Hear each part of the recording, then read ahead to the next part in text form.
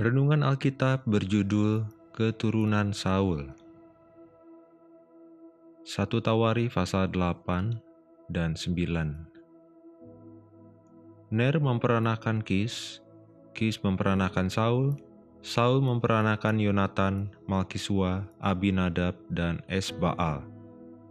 Anak Yonatan ialah Meribaal, dan Meribaal memperanakan Mika. Hazel mempunyai enam orang anak, dan inilah anak-anak mereka, Azrikam, Bohru, Ismail, Searia, Obaja, dan Hanan. Itulah sekaliannya anak-anak Azel.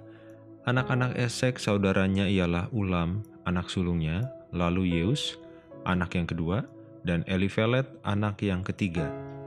Anak-anak Ulam itu adalah orang-orang yang berani, pahlawan-pahlawan yang gagah perkasa, pemanah-pemanah, anak dan cucu mereka banyak, 150 orang. Mereka semuanya itu termasuk Bani Benyamin. Sahabat Alkitab, sampai dua kali silsilah keluarga Saul dicatat dalam kitab 1 Tawarikh pasal 8 dan pasal 9 ini. Keturunan Saul dan bangsa Israel pernah mendapat pengaruh buruk karena penyembahan pada Baal di masyarakat saat itu. Terlihat dari penamaan nama anak-anak mereka. Contohnya, anak bungsu Saul namanya Esbaal, artinya orang dari Baal. Lalu anak Yonatan namanya Mary Baal, artinya berbantah-bantah dengan Baal. Pada generasi selanjutnya, mereka nama-nama yang umum, namun puji Tuhan, nampaknya iman keluarga mereka bangkit. Pada akhirnya mereka menamai anak-anaknya sesuai penyembahan pada Allah.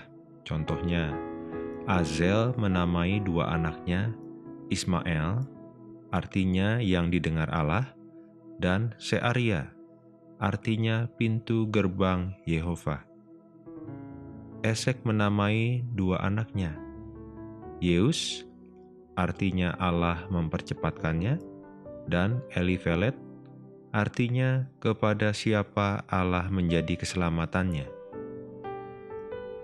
Dan Alkitab mencatat dalam akhir silsilah keturunan Saul di 1 Tawarikh 8 ayat 40. Anak-anak ulam itu adalah orang-orang berani, pahlawan-pahlawan yang gagah perkasa, pemanah-pemanah, anak dan cucu mereka banyak 150 orang. Mereka semuanya itu termasuk Bani Benyamin. Semoga menjadi berkat Tuhan Yesus menyertai kita dan keluarga semua.